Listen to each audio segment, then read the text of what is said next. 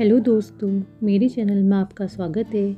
आज मैं लेकर आई हूँ ग्रीन साड़ी के लिए ब्लाउज कॉम्बिनेशन ग्रीन साड़ी सभी को पसंद होती है, लेकिन अगर इसका ब्लाउज मैच ना हो तो सारा लुक ख़राब हो जाता है। आज हम कलर व्हील की सहायता से ग्रीन साड़ी के लिए ब्लाउज मैच करेंगे। कलर व्हील में जो अपोजिट डायरेक्शन के कलर होते हैं एक दूसरे के कॉम्प्लीमेंट्री कलर कहलाते हैं। इन दोनों का कॉम्बिनेशन एक स्टनिंग लुक देता है।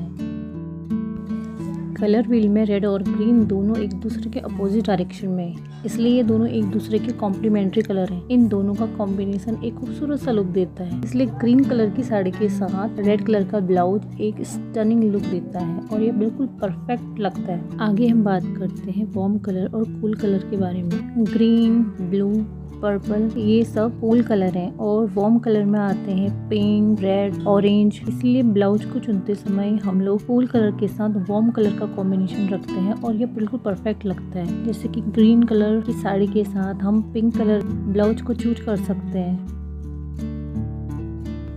इसके बाद कलर व्हील में आते हैं एनालॉगस कलर्स जो कलर एक साथ होते हैं कलर व्हील में, वे एनालॉगस कलर कहलाते हैं। ये कलर एक दूसरे के साथ अच्छा कॉम्प्लीमेंट देते हैं, इनको मिक्स और मैच करके पहना जा सकता है।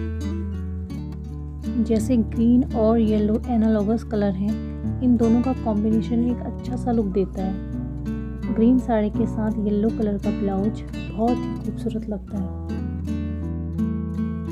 इसके बाद कलर व्हील में आते हैं ट्राइडिक कलर जैसे पर्पल ग्रीन और ऑरेंज ये तीनों एक ट्रायंगल बना रहे हैं तो एक ट्राइडिक कलर है। इनका कॉम्बिनेशन बहुत अच्छा लगता है। हम ग्रीन साड़ी के साथ पर्पल ब्लाउज या ग्रीन साड़ी के साथ ऑरेंज ब्लाउज को पेयर कर सकते हैं। इनका कॉम्बिनेशन बहुत सुंदर लगता है। इन सब के अलावा हम ग्रीन साड़ी के साथ ग्रीन ब्लाउज को भी मिक्स एंड मैच कर सकते हैं। ग्रीन के जितने भी शेड होते हैं वे ग्रीन साड़ी के साथ बहुत सुंदर लगते हैं।